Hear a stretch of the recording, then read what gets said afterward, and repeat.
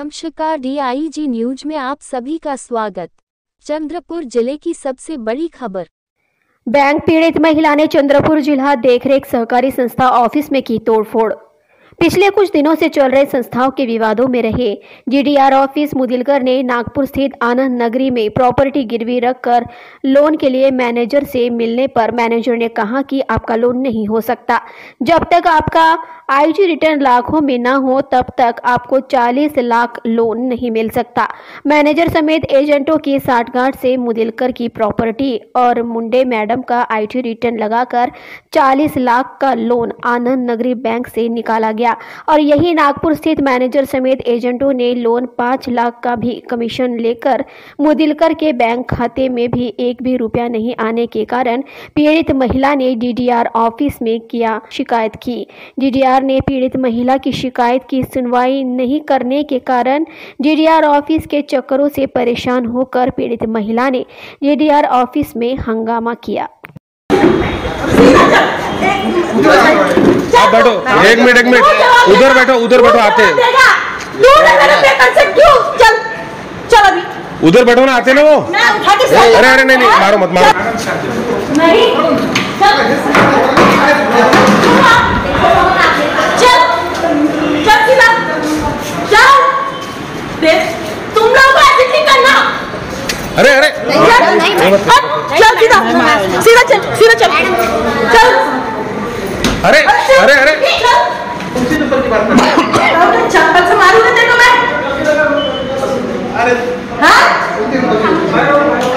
देखो पुणे से पेपर मिले देखो पुणे से पेपर मिले थे मैं आई थी आई थी नहीं थी कब की बात कर रहे हो अभी तो सब सर के पास आके सर से मैंने बोला था नहीं यार सर से लेने नहीं है दो हज़ार इक्कीस में मैं आई थी तू कब आई थी दिसंबर जनवरी में तूने मेरे को क्या बोला क्या बोला तो अपना क्या बोला तूने क्या बोला अरे। बोला? एक सेकंड आप आप साइड हो। क्या बोला? एक सेकंड क्या बोला? क्या बोला? ये मैंने पोस्ट कर दिया है। चल रिसीट दिखा। अरे रिसीट दिखा तूने मेरे को तूने मेरे से झूठ बोला ना तूने मेरे बाप को गलत किया है बाप को गलत किया तूने अरे सर तो सवाल है अपन जे पढ़ो तू तू दे तूने रिसीट भेजी या मैं मैं झूठी हूँ या तू मैं ज़रूर से ज़्यादा शातिर है समझ बहुत पैसा खा लिया बहुत पैसा खाया ठीक है अब इस एक एक पैसे का हिसाब देना पड़ेगा चल उसको सफ़र तो शेयर को करे आनंद नागरी वालों से आपने कितना पैसा लिया वो वापिस कर दो ना। अरे सर अमर नगर में कुछ भी वो सर तो आपने कार्रवाई क्यों नहीं करे? क्यों नहीं कार्रवाई की है? आपने कार्रवाई कार्रवाई क्यों लगता है? हमारे को साहब से कोई लेना देना नहीं है क्यों मुझे बताओ एक मिनट। इनके पति के नाम से लोन है इनकम टैक्स रिटर्न तीसरे के है कागज़ चौथे के है लोन इनके नाम से है। और ये नागपुर के ऑफ़िस ने भी आपको क्लीन चिट दे दी ना मेरे को डीडीआर एक बात बताओ मेरे से कलेक्टर बराबर मेरे अपडेट में है वो मेरे को पेपर तू है कौन बे? तू है कौन? तूने एक पेपर का मेरे को जवाब नहीं दिया। और उसके बाद तूने मुझे बहला फुसला के क्या? बहला फुसला के भेजा पता तो ना अरे दि- स- रात है सर कंप्यूटर सर सादा पोस्टर में क्या बोला था तू? क्या बोला था मेरे को मैसेज पे? जो मैंने कौन सा? सर मैं क्या बता रहा ये लेडीज़ ने नीचे जाके अगर अभी मट्टी तेल डाल के आत्महत्या कर ली तो क्या करेंगे? आपकी नौकरी बच जाएँगी क्या? आपके हाथ से जो आनंद नागरिक का प्रेशर है बड़े बड़े लोग हैं, हमको मालूम है। दस से बारह केस है सर। दस से बारह केस है। आनंद नागरिक के दस से बारह केस है। तुमको शर्म इनका दादा पैसे खाने में तुमको मिलता दस से बारह इनका दादा मर गया और उसके नाम से लोन की इंक्वायरी है। वो नब्बे साल का बुढ़ा रिकॉर्ड नहीं है सर ठीक है ना आप भी नहीं है ना आप एक काम करो ना इतना चिल्लाओ मत। मैं एक बात बोल रहा आप बोल रहे आप रिसीप्ट दिखाओ रिसीप्ट आपने दिखाओ रिसीप्ट बता दो ना। अरे सुनो, एक पूरी बात तो सुनो। भाई, तब आपने आप दिया, रिसीप्ट में- देखो, आप पहले बात तो सुनो। ये मैं- मैंने- बात सुन लो। आपने डॉक्यूमेंट भेजे हैं। आप रिसीप्ट पर अभी अभी आपने एक बात बोला सर आपने क्या बोले कि मैंने साझे पोस्ट से भेजा था? हाँ, उसको- गवर्नमेंट का कोई भी काम साझे पोस्ट से नहीं होता रजिस्टर्ड पोस्ट से भेजा जाता है। थोड़े से रूल हमको भी मालूम है सर इतना छले इन लोगों ने इतना छले। बार बार झूठ बोला हमने भेज दिए। अरे मैडम आ जाइए इसके पास से सेलो कर शेको करके नंबर दिया। जाओ फाइनल ठीक है वो डॉक्यूमेंट की ज़रूरत नहीं मैसेज है कर- वो मैसेज करके वापस करा लाई हूँ। नहीं दिया वो आपने ठीक डॉक्यूमेंट भेजे ना नहीं उसकी ज़रूरत है आपके पास। ज़ीरो तो नहीं अच्छा ठीक है लेटर की ज़रूरत कोई भी नहीं। सर आपका जो उस दिन डॉक्यूमेंट मैं झूठी मैं झूठी डॉक्यूमेंट मैं झूठी मैं झूठी तू ज़रूर ज़रूर से ज़्यादा शाकिर मेरे मेरे पास देता सर होगा मैंने उस दिन जो उन्होंने डॉक्यूमेंट एक मिनट में भैया अभी मैं आपको बताऊँगा सर। को पेपर सुनिए सर जो भी व्यवहार आपका आनंद नागरी से होगा ना पैसे वापस कर दो क्योंकि अभी विषय बहुत बिगड़ जाएगा उसका। एक बात सुनिए अभी आप। हाँ। हमको उन्होंने डॉक्यूमेंट दिए। हाँ। वो डॉक्यूमेंट हमको वेरीफाई करने को। हाँ। वेरीफाई करने के बाद में हम इनको बुलाएँगे ना कि ऐसी सी बात है आपका क्या एक बात बताओगे इनको इनके घर के जब्ती का नोटिस आ गया आपको पता है क्या? सीधा जब्ती का नोटिस कभी को बैंक से नोटिस आता तो पाँच दस नोटिस आते कलेक्टर की परमिशन जब्ती का नोटिस आता। तो हो क्या रहा? आपने कभी लोन उठाया तो डायरेक्ट जब्ती का नोटिस आपको एक ही मतलब इतकी वेळ काय येतो आपल्याला अरे नाही नाही। अरे हे साहब, ये जो तुम्हाला केस आहे, दो साल से चल रहा है. कागदपत्र तुम्ही कागदपत्र का नाही देत और सर साहब त्याचं उत्तर द्या आम्हाला सर अरे हे प्रकरण नाही, आहे तुमचं मी सांगतो आता मी मी आता तुम्हाला भेटायला येणार होतो.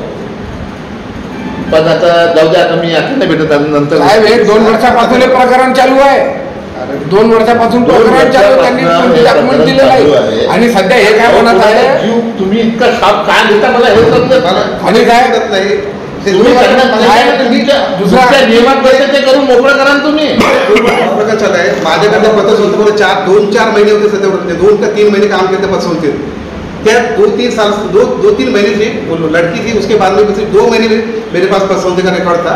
दो ही महीने दो क्या तीन महीने सिर्फ़ मैंने काम किया फिर दूसरे उसको उसके बाद दूसरी तरफ़ चले गए उसके अलावा मैंने कुछ भी नहीं तो किया उसमें इनका दोष थोड़ी है। डॉक्यूमेंट तैयार करा के वो बताइए ना। मेरे को जो बोल रहे ना आप वो भी डॉक्यूमेंट नहीं बता रहे ना। दोनों महीने ते- है तो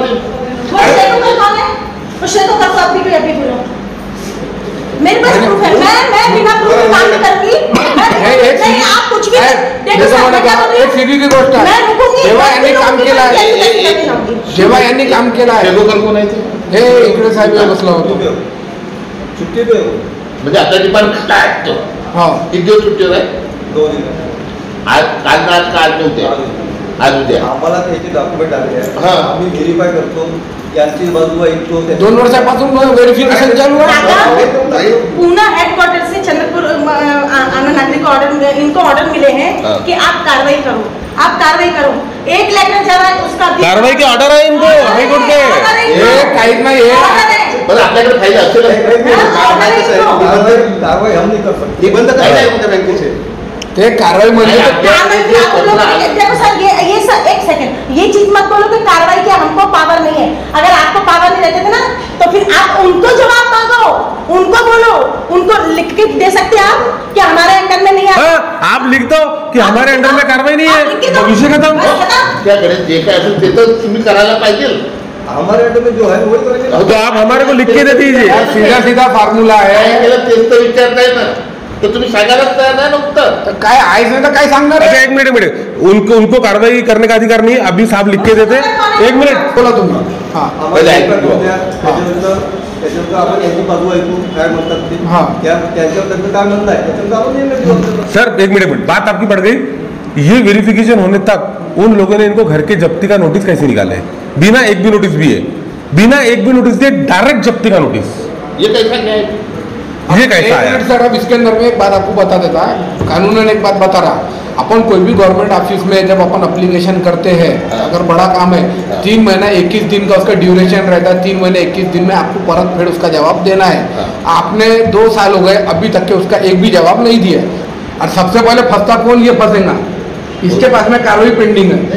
तो जो भी होंगे वो नहीं कार्रवाई वो तो साफ़ बोले ना ये साफ़ कार्रवाई पेंडिंग है। है। हाँ? है जिनको मैंने मैसेज किए हैं पूरे सबूत लेके बैठी है वो। डीडीए तुम्हारा पूरा अगर मैं फाड़ दूँगी मैं चार लोगों को मैं मैं यहाँ है ना इतने दम पे बैठी हूँ ना मैं फाड़ दूँगी आप लोगों को इतना ख्याल मेरा नाम ज्योति मुदलियार है मैं अभ्यंकर नगर नागपुर से रहने वाली हूँ।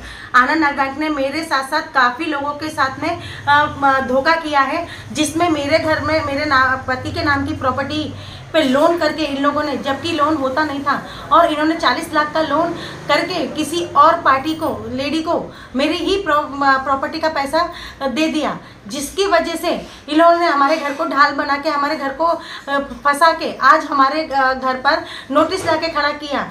ज़बरदस्ती ये लोग परेशान करने वाले काम कर रहे हैं, जबकि इनके ऊपर दीपक पारेख और बनकर इनके ऊपर हेड ऑफ़िस पूना से ऑर्डर है कि इनके ऊपर कार्रवाई की जाए, इनके, जो कि सेलोकर और ढोटे इनके ऊपर नहीं कर रहे हैं। शायद इन लोगों ने पैसा खा के इसके इनके करतूतों को दबाने की कोशिश की जा रही है, जिसकी वजह से मुझे बहुत तकलीफ़ हो रही है और ये लोग इस मुझे कानूनी कार्रवाई में सपोर्ट नहीं कर रहे हैं ये लोग। और मैं यही चाहती हूँ कि मुझे न्याय मिले। नहीं मिला तो मैं दीपक पारे के घर के सामने सुसाइड कर लूँगी मेरा नाम शारिक परवेज इकबाल अहमद है। आनंद मैं भी आनंद नागरी का शिकार हो चुका हूँ।